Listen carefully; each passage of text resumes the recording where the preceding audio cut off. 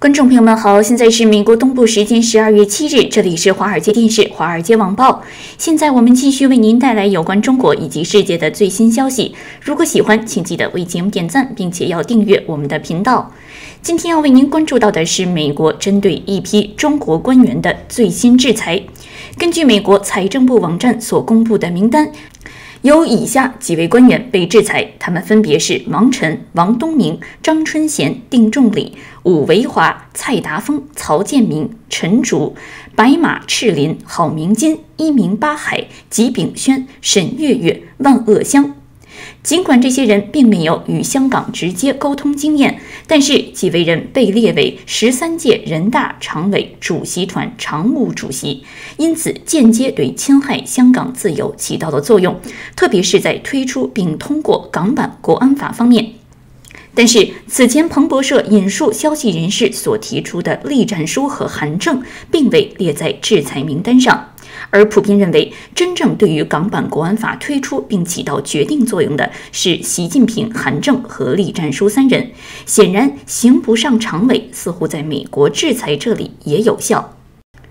在被制裁的名单中，有几个名字引起关注。首先就是曹建明。曹建明是央视主持人王小丫的丈夫。此前，由于受到周永康案的牵连，曾经被中纪委约谈数次，一度盛传。作为最高检察院检察长的曹建明出现了精神恍惚，甚至是无法正常工作的状况，甚至还出现了他与王小丫离婚的传闻。但是，曹建明随后获得了习近平的一次特别见面，被认为咸鱼翻身，一夜之间变了一个人。王小丫与曹建明的婚姻关系并没有出现意外，但是两个人却的确在2014年初度过了一段比较消沉的日子。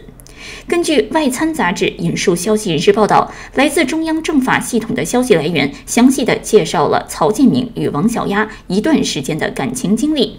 当时，王小丫和曹建明被曝光涉入周永康案，曹建明被中纪委约谈。消息来源使用“惊弓之鸟”“精神恍惚”“惶惶不可终日”来形容当时的曹建明。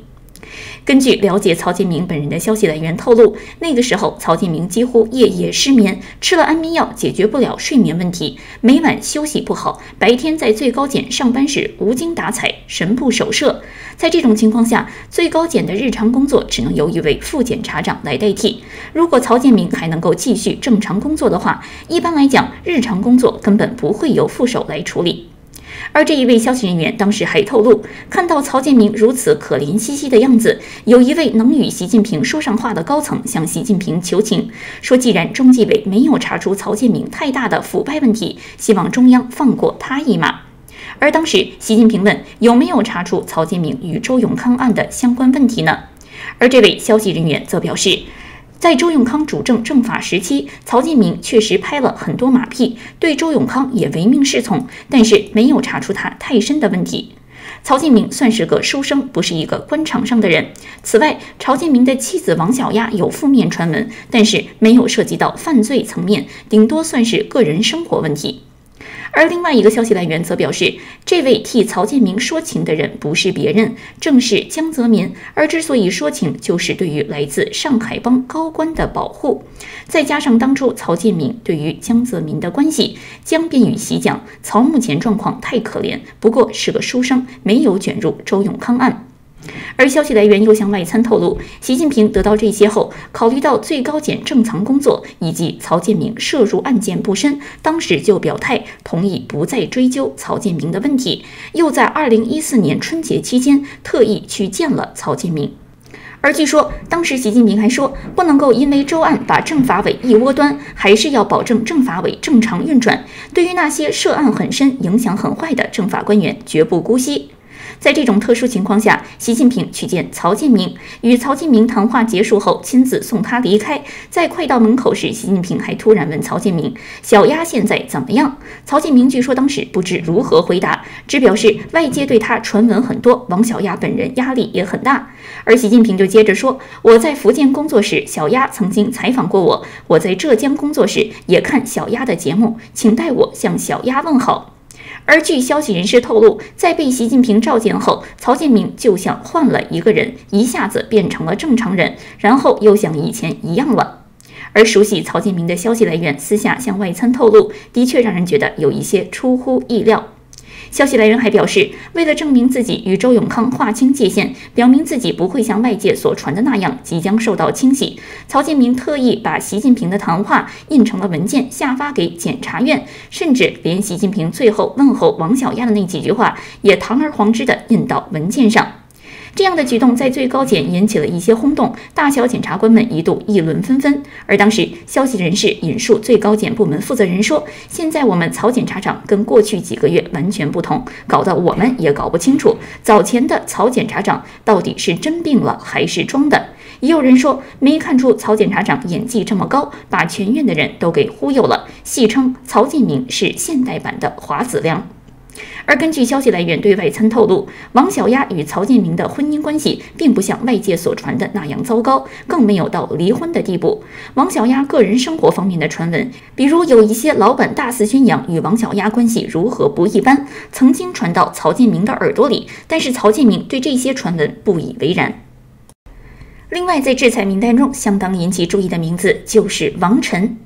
此前，自由亚洲电台曾经报道，在习近平出任总书记的同时，就安排自己当年下乡插队的两个北京哥们儿王岐山和王晨，一个出任政治局常委兼中纪委书记，另外一个则以人大常委会副委员长的身份，从政府角度为习近平把关宣传、严控网络媒体。外界早已知道，王岐山当年在延安和习近平曾经睡过一张土炕，钻过一个被窝。但是少见报道的是，当年也是和习近平一起从北京到延安插队的王晨，因为早早被提干，所以习近平被推荐上大学之前，王晨已经是延安地委办公室的干部。在习近平被推荐上大学的过程中，正是因为王晨的具体运作，力争习近平属于可以教育的好子女，才有了习近平日后和陈。期在清华同窗的经历，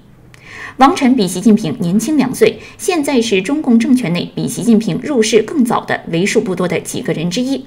此前，据公开消息报道，一九六九年一月，他和习近平、王岐山等同时乘上西去列车。王晨花了八个月的时间就被当地的贫下中农考察过关，加入中国共产党。而习近平入世的这个第一步，则整整花了五年。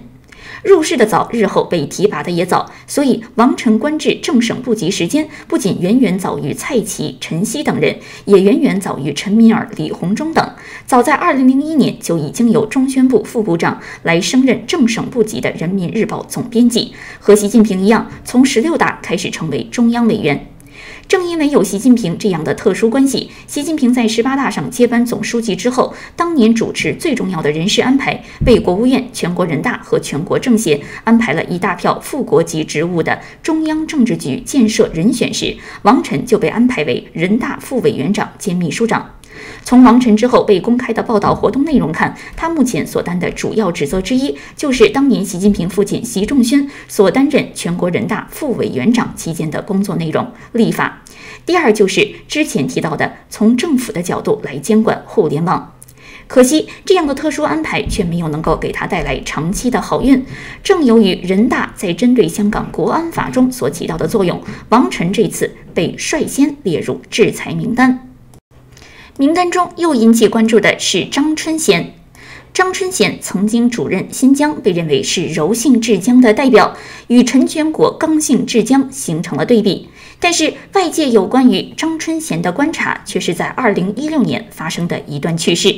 中国领导人聚会的两会期间，向来是北京高度敏感时期。而在二零一六年的时候，全国高唱红歌，网络上又出现了恶搞红歌之举。不同背景的网站还出现了要求习近平下台、罢免李克强等文章。而当时由张春贤领导新疆旗宣传部主办的媒体无界新闻，被发现刊登了一篇要求习近平同志辞去党和国家领导职务的公开信，信件随后很快被删除。而有分析人士说，这是黑客所为，并不是网站干的。而有关文章出现后几天，网上又流传下款为山西毛学组发出的长文，要求罢免李克强，说他经济政策失效、无才无德当总理。因此，当时一度流传是否出现了反习声浪，中央高层对习近平搞个人崇拜极端不满，要求习近平下台的声音在官媒出现等等等等。但是，普遍认为这只是网络意外。